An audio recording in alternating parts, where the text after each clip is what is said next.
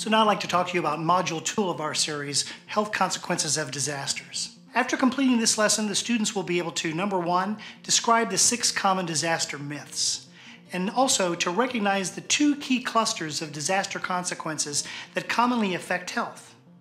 We'll also learn to recognize the difference in health impact for man-made disasters as compared to natural disasters, and also to identify the major health consequences of natural and man-made disasters. We'll also recognize that different disaster hazards often cause the same health effects. So let's start off with six common disaster myths. Number one, most common disaster myth, that disasters always cause epidemics. Don't get me started. That is always the case. People always think that, and it's rarely ever true. Disasters rarely cause epidemics. As a matter of fact, earthquakes very, very rarely. What we see epidemics are commonly associated with conflict disasters. In other words, wars or uh, civil wars and those kinds of things that affect a population, destroy the healthcare infrastructure, the public health infrastructure, and so on. And people go a long period of time without healthcare, food, uh, adequate shelter, and so on. And therefore, they have a lot of other factors that cause these epidemics to occur. But we don't normally see this after other types of disasters. Very, very, very rare after earthquakes, tsunamis, landslides, and so on. Um, we see it on occasion with floods and some of the other types of disasters. But once again, don't always cause epidemics. So we shouldn't be wasting our time of trying to plan for epidemics or dealing with epidemics in the, in the middle of an earthquake when the real issue is injuries and shelter. The second most common disaster myth is that mass hunger always happens after a disaster, and once again, very rarely the case. Now, we do see the examples where countries that have difficulties in feeding the population or a very tenuous food distribution system um, before the disaster, that when the disaster comes, that tips them over the edge. But rarely do we see mass hunger or this type of starvation event in most disasters. The one that we is the exception of that, of course, is drought, where we see long-term drought and then famines that commonly occur. Most of the time that occurs in sub-Saharan Africa, where there's a chronic drought and famine cycle. So the third most common disaster myth is that temporary shelters like tents are always the best alternative when homes are destroyed. And this is um, never the case, actually, very rarely, if ever so. You know, usually people are wanting to get back into the norm, their normal routine, their normal family unit. And when you take a family and you put them in a, in a room full of 600 people in one room shelter, great big huge sheltering uh, experience, or many, many tents and so on, that's not their norm. And so people react to that. They, they're not back to the normal, they're not experiencing the normal things that are that they've been so used to in their lives. The families are disrupted and so on. So rarely is this the case. As a matter of fact, in one particular country, they had an earthquake that occurred and people were displaced from that and all put into shelters and so on. And the government came to them afterwards and said, look, you know, we have this sort of a longer term solution to move you out of the temporary shelter and move you back into these different neighborhoods. And when they went to this one particular group of people and they asked them, uh, you know, to ready to move, ready themselves to move back, they then, the people actually said, you know, well, wait a minute, we're all moving to different places and we used to be a neighborhood.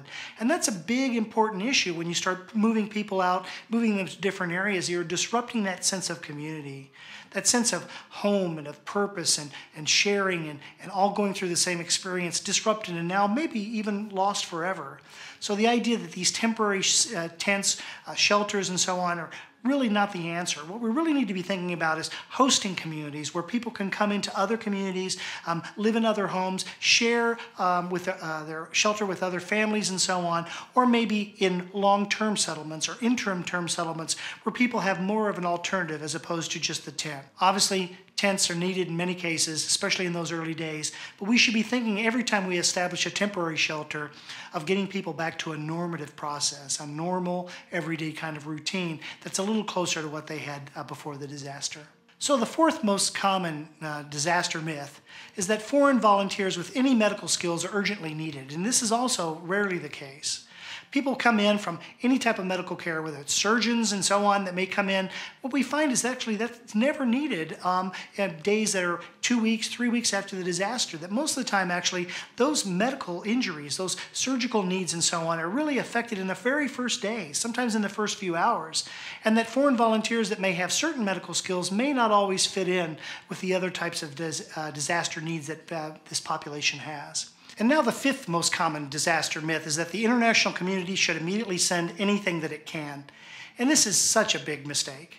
You know, we have to think about the social aspects of what these where people are living and the disaster victims and so on the cultural aspects of what they need from us as well and so you know people want to give and we're all over the world people are the same they're very giving they want to be able to take the very shirts off their back and send it and many times they do that but it's not always appropriate in different cultures. For example, people that live in temperate climates may want to send winter coats and winter clothing and so on. Or people in a Western society may send to uh, other societies that where the clothing is different. It's not the same uh, clothing for women or men and, and may not be appropriate in their particular culture.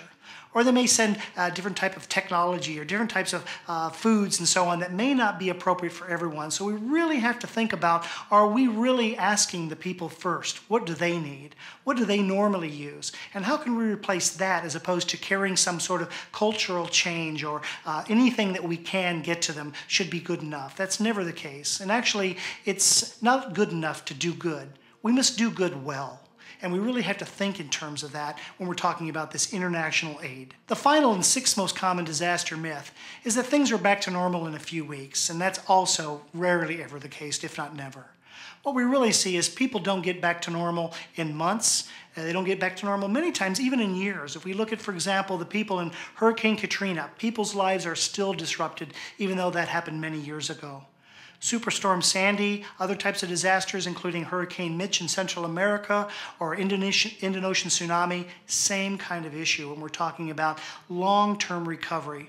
So long after the cameras and the news crews have all packed up and gone away, long after the responders have left, people are still trying to recover their life to get back to normal. And as we'll learn more in this particular session, in this particular module, we'll learn more about what that normal means and how it really takes not only um, weeks, but it takes months and years for people to really get back to the life, to the holistic approach of what they really need to get their life what they say is the way that they want it. So I want to talk to you about these two key clusters of disaster consequences that affect our health. We can sort of conceptualize all the consequences sort of in these two key clusters. One of them is caused by when you lose your shelter. And the other is caused by when you're exposed to the health hazard. So this health hazard, for example, may be hurricane winds or, or water or chemicals or those kinds of things. That's the hazard and you're being exposed or close proximity to that. And that results in morbidity or injuries, illnesses, and also mortality or deaths. So we have this exposure that then results into a large number of injuries, medical system has to respond, and or a large number of deaths, community responds in that way. In the same token as well, loss of shelter also has a trickle down effect. It has this cascading effect that also uh, impacts food security, water, sanitation. If you don't have your home, you lose more than just your ability to shelter. You lose your ability for food preparation, for bringing food home, storing food, and those kinds of issues, as well as water. Safe water is not only important for drinking, but also cleaning, uh, cleaning your, doing your dishes, taking showers, washing your hands. All of those things affect our health. So when we take these two clusters, we can really see that they make a cascading difference. And when you lose those and have one or the other or both, you really have much more of an incremental effect um, in uh, disaster consequences. So now let's talk a little bit more about these figures of the relative impacts between natural disasters and technological disasters. And the way that I remember it is blue is blue like the sky, so that's a natural disaster, and technological more like fire or explosion, uh, that's red. So we'll look at these graphs and figures and talk about what they mean. During the past 50 years, um, we really see that the overwhelming majority of people affected by disasters were affected by natural disasters. In addition, the percentage of homeless people during these past 50 years overwhelmingly caused by natural disasters, as well as the percentage of damage caused. You can see again, almost all of that is blue, with only a small sliver of being uh, technological disasters. So, once again, natural disasters cause the overwhelming majority of damages and cost for that. But now there's a little bit different in this last uh, figure. We're looking at displacement rates of populations. In other words, for every 100,000 people that are affected by either disaster, how many of those people um, actually are displaced from their homes? And we can see here that technological disasters far exceed this uh, element of displacement. So for every 100,000 people, much more people are displaced by um, technological disasters as compared to natural disasters. So that's an important point um, to recognize. So we also see in this particular figure that the overwhelming majority of uh, the percentage of deaths caused by disasters during the past 50 years were caused by natural disasters. In addition, the percentage of injuries almost the same as well, natural disasters far exceeding technological disasters. And the mean deaths per event, in other words, the average number of deaths per each disaster event, also very much higher for natural disasters compared to technological disasters. But now let's take a look once again at this rate. For every 100,000 people that were affected during the past 50 years, the overwhelming majority of those people, much more people were affected, were killed by technological disasters as compared to natural disasters. Does that make sense? That for every 100,000 people, technological disasters affected and killed much more per 100,000 people. So it's a much more dangerous phenomenon when we're talking about technological disasters. So now let's look at that uh, death injury ratio. What a death injury ratio is, is the number of people killed in that disaster as compared to the number of people injured. And we can see in this particular figure that that uh, rate is much higher for technological disasters as compared to natural disasters. And finally, the injury rate. Injury rate is the number of people that were injured per 100,000 people that were affected. And you can see that once again, technological disasters cause a very high injury rate when we're comparing that to that of natural disasters. So let's talk about disaster losses because people tend to use these two phrases interchangeably when they talk about consequences and impact. And I want to separate those out for you. I'm a little bit of a stickler when we're talking about this terminology because I think if we use these words interchangeably, we sort of lose a little bit about the meaning. So disaster consequences or hazards, those are the, these are the negative effects on human or physical or mental and social well-being caused by disasters. And you know, that's an important thing to recognize when we're talking about humans. It's one thing, disaster losses that affect a, a street or a highway or a building and so on, those things can be repaired. And it's a mixture of bricks and mortar and, and concrete and wires and so on that cause this physical infrastructure. But we're looking at humans. We have to recognize that there's a physical, there's a mental, there's a social well being. There is an aspect of that that makes people feel whole. And I love the way that the World Health Organization talks about health. They say that health is not just the absence of, of disease, it's a more holistic approach that includes your spiritual well being. It includes a wellness, a feeling that people are whole and they're safe. And that's one of the things we have to recognize that change when we're talking about the disaster consequences for humans. In addition, we can compare those consequences to disaster impact. Impact is the measure of the severity of a disaster. So we are measuring the severity of these consequences, the number of people homeless, the number of people injured, the overall number of people that may be displaced from their home. So the impact is a measure or a metric of the severity of that particular disaster. We also want to recognize that, you know, public services are also affected by disasters, and many of these also have a cascading effect to cause more injury or illness or disruption down the line.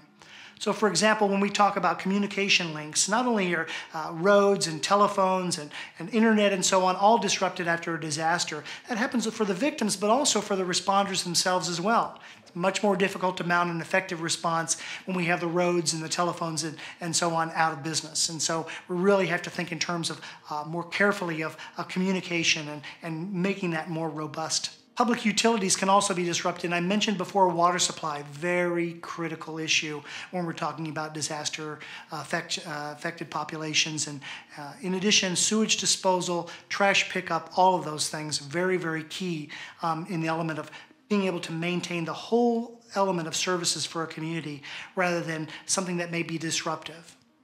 So we all take for granted and you go out to uh, take your trash out to the side of the road and uh, trash pickup occurs and, and uh, we take for granted the garbage is gone, we don't have to worry about it. But imagine now that being disrupted after the disaster and the trash builds up, no sewer, no water. A lot of these things are compounding and so they make the environment more and more dangerous as time goes by.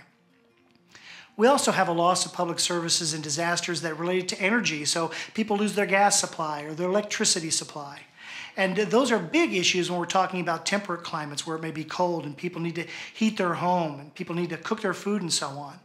And this loss of energy actually has a very, uh, uh, very difficult process for putting people through this issue of not being able to heat their homes. And so they may turn to ways that they're not normally uh, accustomed to uh, doing so to, uh, to, heat their home. For example, people may move uh, heating elements like charcoal or other types of heaters indoors where it can give off carbon monoxide. And not knowing that, that carbon monoxide builds up and it can actually poison people. And you can have deaths three, four, five days after the disaster from the carbon monoxide that people have inside their home because they don't have the electricity. Or they don't have the gas to heat their home and they may be doing so with uh, trying to heat it in other ways. The other thing that we see many, uh, very commonly in, in many countries is the idea that people lose electricity and then they may use generators, for example, and they start that generator and it runs near the home or runs inside a closed space like a, like a inside of a shelter, inside of a, an awning or a, a garage, and that carbon monoxide builds up there and builds up inside the home. And they may not notice it at first or they may feel a little slight headache and so on, but when people lie down and go to sleep, that may also continue to build up and get to toxic levels. And so, this idea that electricity, loss of electricity, not just an inconvenience, but can many times be a hazard to your health um, that we have to address as well. Disasters also damage communities. And so we can have a loss of industrial facilities or uh, economic base in these particular uh, uh, communities. We have small and large businesses that can go out of business. You can have large effects like hospitals being knocked out and so on, but we can have these smaller businesses also that are unable to operate Doctors' clinics, for example, missing a key person, missing water, missing electricity, can't open. People can't go to their businesses, they can't start up, they can't show up to their job after a few days of trying to recover. They can't go out and make a living. And so, therefore, you have this primary disaster of the event itself, and then now secondary economic problems as well that build upon that. We also see crop destruction in agriculture, and we've seen this in, in private, uh, other prior places as well, where uh, people may have uh, be reliant upon one type of crop, like a, a rice crop or a corn crop, and that particular crop fails because of this disaster.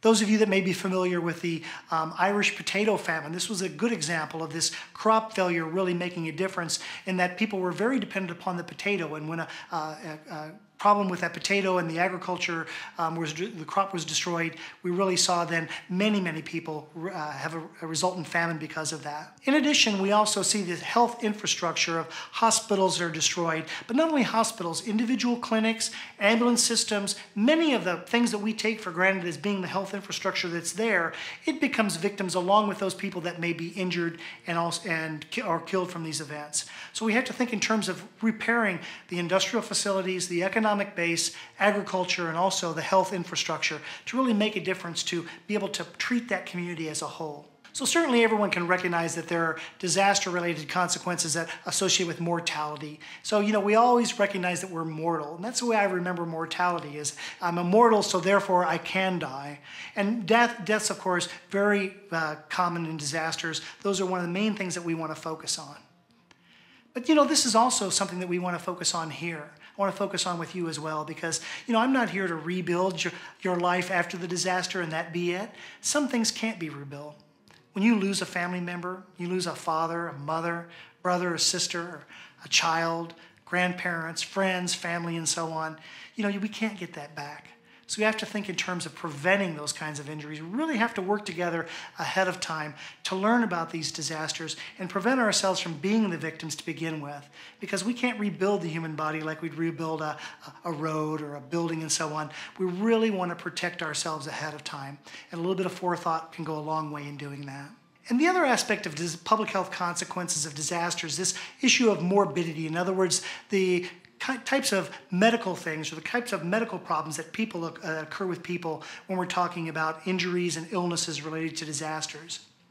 And one of the most common is the worsening of chronic illnesses. So people um, with diabetes, uh, uh, uh, asthma, emphysema, heart disease, these are all chronic diseases. And some countries, of course, uh, the more developed countries, have more of these among the population than others. But we see these diseases worsen after a disaster. So, for example, we see heart attacks increase, we see strokes increase um, after uh, heat waves. After the embassy, or excuse me, the Olympic bombing in 1996 in the Olympic Games, there was a uh, four deaths all from the bombing, and a fifth death actually from a heart attack that a person suffers. We see this worsening of these existing chronic illnesses, and we should be prepared to address that. We should be um, prepared to be able to prevent those from happening um, when a disaster occurs. We also see this remarkable issue of psychological illness. I mentioned before the issue of, of you know, feeling whole and feeling safe and having a social and a, and a, a cultural and a, a, psychological safety and a, comfort. And, you know, many times that goes away after disaster. So people, people suffer from psychological illness, sometimes post-traumatic stress disorder and other kinds of problems occur very much uh, associated with these types of disasters, no matter what uh, particular category. We also see increased pests and vectors. And so, for example, we see uh, mosquitoes and increasing flies. We see sometimes increasing rats and so on um, after these uh, disruptions of the environment and, and people's uh, shelters more exposed to these particular elements. What we don't see, however, are very, very few examples where we have diseases that are worsened by this. And not only are the pests and, and vectors in the environment disrupted, but we also see a disruption of even domesticated animals. For example, dogs. Uh, dogs normally have a, a very well circumscribed territory. And without going into too much detail, I can share with you, you know, they mark that territory from time to time. But when a disaster disrupts a dog's territory, it actually makes that dog feel as though that it's not at home either. It's on edge, it doesn't have a well described area that it's responsible for, that it's its own home turf, so to speak. And so we actually see dog bites increase after these uh, types of disasters that uh, change the environment. We also see, of course, severe injuries, and most people can recognize that as well. We see severe injuries after disasters. But what we don't normally see in everyday life is a large number of severe injuries that all occur on the same moment, sometimes at the same hour. And so thousands of injuries all occurring at the same time, uh, they create a special um, set of public health consequences that the hospitals may become overwhelmed. We also see toxic exposures. For example, we see uh, poisonings that can occur, for example, when industrial uh, facilities are disrupted or hazardous materials are spread and so on. Um, so that can occur when we're talking about, uh, you know, if you live next to a, a factory or another storage facility or a warehouse and so on. But we can also see these toxic exposures even from the chemicals that are underneath your sink you know, many of the cleansers and oven cleaners and all kinds of chemicals that we may use in our day-to-day uh, uh, cleaning households and so on, those normally uh, may be packed away very, very safely. But when we have a disaster and the home is disrupted, we may have those chemicals spilled. They may be spread around. As we're doing cleanup or recovery, we may become exposed to those. And so we have to be concerned about those toxic exposures. We also have a certain element of food scarcity that can occur. Once again, not always the case, but it can occur. And we, sometimes it's actually in the short term where we see people that for a day or two won't be able to get the adequate food. For most of us, that may not make much of a difference. I could probably lose a few pounds myself with a few days and not be uh, too harmed. But what about a baby, for example, that may need to be fed on a regular basis, baby nursing or bottled and so on? So this food scarcity issue does come into play even more so when we're talking about these vulnerable populations. And finally, we have this worsening of endemic diseases. So what do I mean by endemic? Endemic diseases are those diseases that are in existence in that community before the disaster occurs. And so there may be a local disease. For example, there may be influenza or flu outbreak in that particular community. And then when the disaster occurs, that worsens. Now, the disaster doesn't bring in a new epidemic, doesn't bring in a new uh, endemic disease, but what it does is it worsens what's already there. Now, in the Western world, one of our endemic diseases are these things like chronic disease, where you have heart attacks and strokes and things like that that are much more common. And those worsen, so we see those worsen after disaster. So there are also environmental consequences when we talk about the public health consequences of disasters. First off is there's this public concern for safety. People want to feel safe in their environment. And that environment has been remarkably disrupted. So really have to think in terms of people's element, of people getting them back into their normal style of living, their normal routines, what they feel safe with. And that's a big, big issue when we're talking about different environments that have been remarkably changed by the disasters. People, of course, as we mentioned before, that you lose hygiene, you lose clean water, you lose electricity, you lose shelter, you lose sanitation. All of these things are the environmental impacts of disasters. And all of those, as we talked about earlier, really have a cascade to increase your risk later on down the road. A day, two days, a month after the disaster, you can really still be affected by the loss of these environmental uh, issues and environmental triggers. We also have this disruption of the health infrastructure, as I mentioned, not only hospitals, but also clinics, ambulances, healthcare, medical records, all the IT that goes into being able to provide good medical care, all of those things disrupted. And so, therefore, we have this disruption of the healthcare infrastructure that we also have to bolster and, and strengthen. And finally, we have this loss of personal goods. And I have to share with you this story of, you know, myself as a, a green, wet behind the ears disaster responder years ago you know, much of my work early on was doing these needs assessment, rapid needs assessment, where I'd go to disaster affected populations. I'd ask them what were their needs, what were their losses, and so on. And I'd ask them in particular, you know, food, water, shelter, all these things we've talked about. And uh, people would tell me, you know, what they need, and then I'd file that report, and other agencies like NGOs and United Nations and their nation and so on would provide those goods for them. But I want to share with you a story of how I naively uh, made the mistake of going to the wrong people and asking. So I went to this disaster affected community and I met with the village elders, which were all male. And uh, they told me, you know, one of the things we need are food. I asked them, so, you know, what kinds of food and so on. And they gave me the specifics of the type of food that they were used to eating. And so I put that in my report and filed it. And I went back several days later to see if things were okay. And they said, you know, we still have a problem with this food. What's wrong? Was it not delivered? No, it was delivered. It was fine. But what we don't have are the pots and pans and the fuel to be able to cook it. And you know, it was then I learned, of course, you know, I asked the men who weren't involved in food preparation whatsoever, I asked them what their needs were, and they said, well, we need food because they're used to sitting down at the table and eating that food. But who I didn't ask were the women that were involved in preparation of that food and the household goods that they needed, their own personal goods. And so here's a mistake that I made that we really, as a hard lesson for me, that I want to share with you. You really have to think in terms of the loss of personal goods and what people lose in their normal day to day lives that really have an effect on their environment and the public health consequences and impacts. So I know this is a busy slide, so I don't want you to be too scared away from it, but I kind of want to put it in perspective as far as colors. I color coded this particular uh, figure so that I can share with you in a little bit better way. So I don't want you to get drugged down to the details of how this is, you know, uh, so detailed in many di the di different disasters. But let's take a look at this far left column here when we're talking about the, the public health consequences. You can see that gray column are all the public health consequences that we just talked about. Deaths, injuries, loss of sanitation, water, loss of shelter, and so on. And you can see that across the board uh, on these different columns going away from there are all the different disasters. So at the top we have earthquakes, tsunamis, hurricanes, and so on and so forth. And what I want to point out to you is the bigger picture for this particular figure. What you can see is actually that each one of these particular disasters, no matter what the disaster, still have that same public health consequence. So earthquakes and tsunamis and hurricanes and other types of disasters, floods for example, all of them cause deaths. Some of them more than others. And so what I've done is I've shaded for you in this particular figure, the reds are the uh, ones that are most severe ambers or orange, those are the moderately severe, and then greens are the least severe. So you can see that actually what really changes among disasters is not which particular public health consequences are affected, but only the degree. So some have more deaths than others, some have less injuries than others, some have more uh, displacement and loss of shelter than others, but all of them cause the same public health consequences. It's just a varying degree. So what we should be thinking about is in terms of being able to accomplish all of those public health needs, fulfilling all those public health needs in the one gray column. If we're ready to do that, we're ready for any of the disasters that can occur.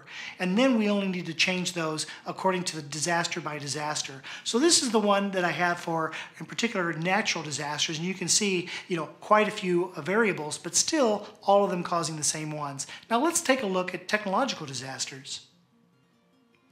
Same set of public health consequences, and you can see here a variable color, set of colors as well. Some of them have a, a relatively moderate uh, to high level of uh, consequences, others relatively green. So once again, even technological disasters or man-made disasters cause nearly all those public health effects, but only vary to the degree. So once again, when we plan for the one gray column, we're really planning for all these disasters. Now let's talk in terms of more detail about particular causes of deaths of disasters. For example, droughts are commonly associated with malnutrition, and many people understand that link between drought and famine. But drought can also cause lack of water for sanitation and, and, and uh, cleaning and so on. And so therefore we do see some infectious disease outbreaks when we're talking specifically about drought. Once again, not all of them. Wildfires are more commonly associated with suffocation or smoke inhalation rather than people actually being burned. So more people die from suffocation and smoke inhalation as compared to burns in these wildfires. And so it helps us to understand that a little bit better. When we're talking about heat waves, um, you know, obviously most common heat illness, but also heat waves um, cause worsening of the chronic diseases like heart attacks and strokes in particular. We also see other types of uh, causes of death related to flood and tsunamis, of course, associated with drowning. Storms, hurricanes. The most common cause of death in a hurricane is actually drowning, not the wind. People die from water, um, not the wind. And so, thinking in terms of what causes these um, particular aspects of, of mortality related to disasters, we can then plan that a little bit better. It's not always intuitive. Now, of course, earthquakes, landslides, tsunamis, and so on, we know that the majority of those deaths occur from trauma, from, uh, from uh, you know, people being struck by things, uh, falling buildings and tsunami uh, uh, carried debris and so on. But we also see suffocation occur. Now, why does that happen? Ask yourself, why would that occur in an example of an earthquake or a landslide? What it is, is people become entrapped so the building falls on them, the landslide covers on them, and it covers their chest and it prevents them from being able to draw a deep breath. And when that happens, that's when people suffocate. They're unable to be able to expand their chest. And we see that from time to time as well. We also see cold weather, and of course, you can uh, commonly, you know, ex expect to have people that have hypothermia, which is low body temperature, um, in the examples of these uh, particular cold waves. But we also see people that have carbon monoxide poisoning, as I mentioned earlier, people that do inappropriate cooking, um, inappropriate fuel or heating inside their home that may give off carbon monoxide. And also now, we, not only for natural disasters, but we see specific causes of death for uh, technological disasters or man-made disasters. And many of these, of course, a little bit more intuitive. So for example, like chemical exposures or, or poisonings and so on, we can expect uh, you know, poisoning to be a major cause of death in those. We also see, for example, explosions or, or uh, fires and, and those kinds of things. We could expect, of course, trauma, injuries, and also specifically burns. Transportation crashes, once again, mechanical trauma. We also see that as well with aspects of terrorism that may involve, uh, you know, uh, uh explosions uh, and fires and those kinds of things as well.